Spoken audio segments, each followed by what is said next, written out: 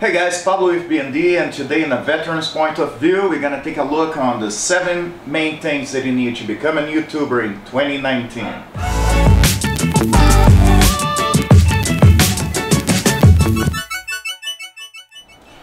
Sure, you all know you're gonna need the basics like a computer, editing software, a camera or cell phone, but that's only 1% of the things you need to actually make it to YouTube. So today we're gonna take a look if you got what it takes to actually become a YouTuber. Number one, a plan. Alright, so you made your channel and you're ready to upload. Now, the main thing you have to think, what's your content? What niche are you trying to reach? One of the things you have to always remember is it doesn't matter if you're interested in a subject, it doesn't mean your viewers actually gonna be the same interest. And also, even if your content is interesting, are you actually being able to pass your message to your viewers? So you must be a critic. You need to look up other channels that have the same type of interest and actually find something that works for you. And look, it is okay to be inspired by other channels and a lot of times you're gonna start emulating a famous YouTuber that you have interest on but with time, you need to be able to develop who you are as a YouTuber. Alright guys, for number two, have thick skin. And I'll tell you, this is probably one of the most important things on YouTube. It doesn't matter what your content is or what your niche is, you will never be able to please everybody. And it's not even to mention the trolls that lurk around the internet uh, a lot of times people will post stuff on the comments that have nothing to do with the video you made or anything at all. So you have to be very cognizant to those things too. So basically what I found out to do when I run into an issue like that is five important things. Listen, understand, discuss, improve, and thank your audience. And why do I say that? Believe it or not, I answer to every single comment made on my channel. You see, many times because of that, I was able to actually turn someone that had posted bad comments on my videos into someone that even defended me against other bad comments. And also guys, many times you will not be able to pass a message you're trying to pass in your video. So you, you have to always keep an open communication with your audience. So if they have any issues, if they didn't understand where you're trying to pass, you're able to explain to them. And someone else that runs by this same comment may actually see what you're actually trying to pass them. And just understand, I'm not, I'm not saying like play a PR game with your audience. Uh, what I'm trying to say is, if you listen to your audience comments and you understand why they didn't understand what you're trying to pass, and you understand what they want you to improve on your videos, I mean, if people know you listen, it will raise your num number of subscribers, it will actually improve your videos, and it will help you pass the message you're trying to pass to those guys. And honestly, if you cannot actually answer those comments with a leveled mind, you're not ready to do YouTube. Alright, number three, think long term.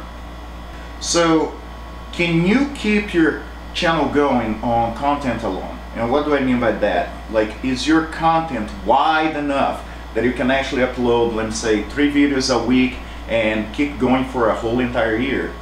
Is your content actually interesting enough that people won't just like pass by your channel, stay for a little bit, and then leave? The best way that I found to actually combat that is to pretty much not not take my apples from the same tree. So, for example, uh, on Fridays, besides last week, I have a veteran's point of view. And that's basically the main thing on the channel for me. But I won't do it Fridays. On other days of the week, I cover Reddit posts. But I also don't try to take the same uh, subreddit from the post. So that gives me a good thing going and give me a wide enough variety of things to discuss about. So, veterans point of view, for example, there's always things going on in the world, so I always gonna have something to talk about. And not only that, that may also help you to actually get subscribers from different niches into your channel. All right, number four, don't beat yourself up. And I see that a lot. So you just uploaded your first video to YouTube. Um, and you know, you like everybody, you expect, wow, that's a great video, you know, I'm gonna have at least like a million subscribers in about two days and uh, about 2 million views. Well, that's probably not gonna happen. And you post on social media, you put in your Facebook, you know, uh, you live in a household of like five people with you, but somehow you only have three subscribers. Someone's stiffing you. I got it. Hey man, just understand one thing. You know, so what you guys have to do is just keep uploading. Because if you stop to think, there is almost 8 billion people in the whole entire world. Uh, one thing you're gonna see is a lot of times if people get to a new channel, they may not subscribe. They may keep an eye open for the channel, but if they only see the person has one or two videos, they don't know if that's a fluke. So keep uploading. People are gonna come back, and most if you're in their niche, uh, YouTube gonna algorithm gonna pick up your videos every now and then. People gonna see that you keep up, kept uploading. It doesn't matter if you have 10, 20 subscribers or a thousand subscribers, and um, you know eventually people gonna sign up for you. So don't get beat up. Uh, you know, fame won't come from a day to the other. I'm still on 2,322 subscribers. I completely changed my channel. And honestly, I think I'm doing fine. I actually look at analytics all the time and I realize that YouTube's picking up more and more of my videos. So, hey, it's, you go for the long run, man. You go for the marathon. And by the way, one thing I have to say, guys, uh, I'm really sorry if I say man. It, it's just slang. It's how I talk. Okay, I also mean women, you know, children, uh, whatever you are. Okay? And, and, just one thing, you know, it's like uh, they say in the movie Field of Dreams. If you build, they'll come. In your case, if you upload, they will subscribe. Alright. I, I know, I almost say like everything is the most important thing and I think it's because those seven things are actually the most important things for you to succeed. Um, but number five, keep it clean. What do I mean by keep it clean? So there are many, many ways to keep it clean on YouTube. Basically, the worst thing you can do is you get 10,000 subscribers, 100,000 subscribers, even a thousand, and YouTube just shuts down your channel and you're out for good. Why those things can happen? Uh, so one thing you guys have to understand if you want to do YouTube is strikes.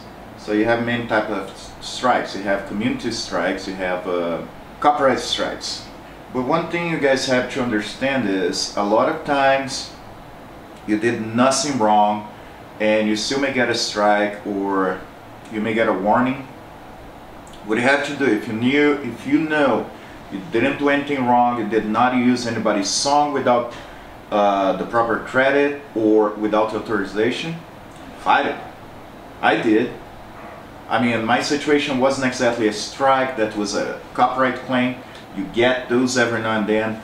You have a lot of channels that try to throw strikes at you, even if you're not even from the same niche as those guys but they try to screw you over or at least like take some of your money away. And if you don't notice, if you don't pay attention to those things, yeah, they will probably get a bite of your money. And the danger is you may actually get a strike in the end. So what you have to do is always fight. Unless you know you're wrong, if you're wrong, what you can do is remove the video right away. Um, and that's it. Try not to mess up next time. Okay, the other thing, if you guys are starting YouTube, you're gonna see is uh, people gonna be offering to sell you subscribers. And supposedly they're real subscribers, you know, or sell you real views. Or one of the things that is just as bad is sub for sub. So I'll tell you this, those are other things that can actually get your channel shut down. I've seen channels that the guys were doing actually pretty decent. They didn't need those things. But the moment they start doing sub for sub or anything like that, they end up losing everything. So don't do it, it's not worth it. And plus, honestly, you will not actually be able to gauge how your videos are doing if you're buying views, if you're buying subscribers, because those guys, yeah, they may watch one video and that's it. You're gonna have 10,000 subscribers and no views, so just not worth it, okay? And plus you're gonna lose your channel and you're gonna lose all the money you invest on those things, so it's just bad business. All right, number six, learn from your failures. So one of the main things after you start on YouTube is you need to learn to read the analytics. And basically because that will actually give you a good view in what is working and what is not working in your videos. The only thing I say is don't, don't rush into it. That's what I'm saying, like you're being YouTube for a little while. Uh, basically because as any type of data, you need to give time, right? So a lot of times I put a video, uh, if I try to look at the analytics, first of all, they, they are usually delayed a couple of days, but they won't give me a good view. Uh, when I looked after a couple of weeks even, even if not a month, it gave me a better view. It showed me that as soon as the video came out, the first people watching, they watched, let me say 30% of the video in average. Uh, but then when the videos start getting picked up by the YouTube algorithm, it actually showed to people that actually would have better interest and it pretty much like raised the numbers to about 70% of view time. So learn to read that. So the other thing analytics gonna show you is uh, how many people subscribed after seeing your video. Uh, it's also gonna show how much uh, how much of YouTube is actually recommending your content, uh, the clicks by impression ratio. Now, one thing I like to explain about clicks by impression, um, it doesn't usually have as much to do with the video itself as it has to do with your thumbnail and the title of the video. So how do you improve things by looking at this data, for example? Well, if I did a certain thumbnail, um, you know, I put some really cool picture, a really nice title, and click-through ratio went from, let me say, 5% to like 10%, what is actually fairly good. Um, you know you should be doing thumbnails like this, instead of a thumbnail just showing my ugly mug like I used to do. So, so th that, that's important for you to learn. And I'm not going to teach the whole thing. I'm just saying you guys have to take a look. Uh, YouTube Creator Studio, actually, they have classes about it. If you don't understand something, you should look it up.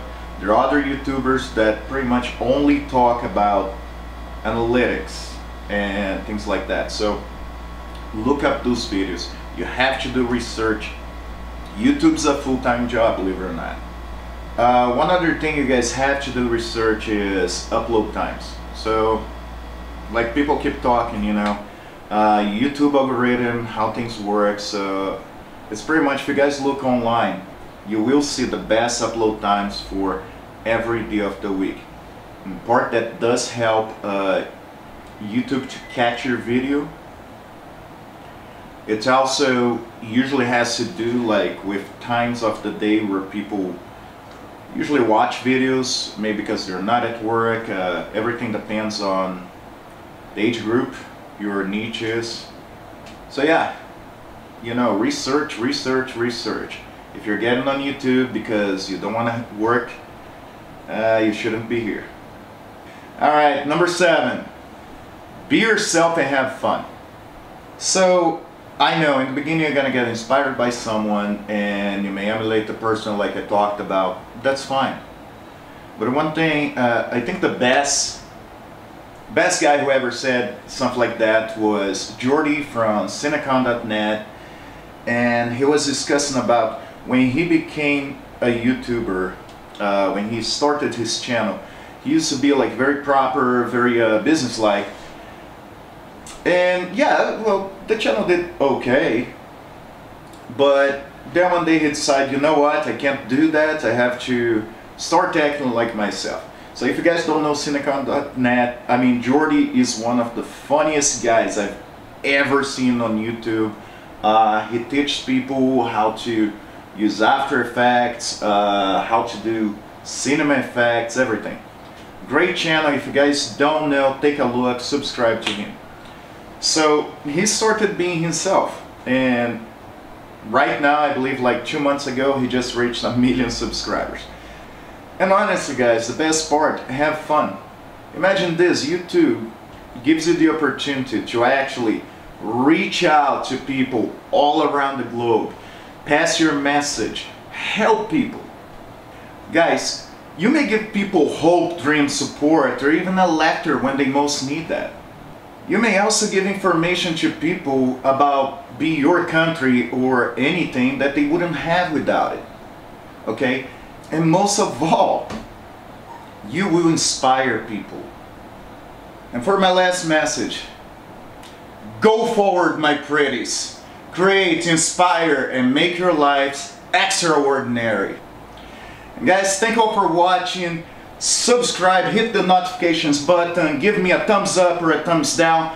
Have a great weekend, and I'll see you next week. Thank you.